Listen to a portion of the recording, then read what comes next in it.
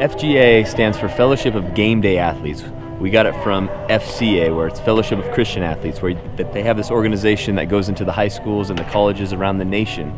Um, they just teach these kids what it means to be an athlete who plays for Christ. Our mission from the Christian side of things is to impact lives through the game of baseball. And so in FGA, that's our biggest hope that as we're having fun with these kids and we're playing games and we're playing wiffle ball that we would have some impact beyond just the game of baseball. I want to teach a kid how to hit. I hope our kids do well in these games but ultimately we want to create kids that are going to go out into the into the community and be men of God. And so that's ultimately kind of our, our goal with FGA that these kids, when they get into high school, they're going to know who they are in their faith um, and who they are as a baseball player It doesn't matter if you make it to the major leagues or how old you live, as long as like you believe in God and Jesus and um, you like you will make it to heaven.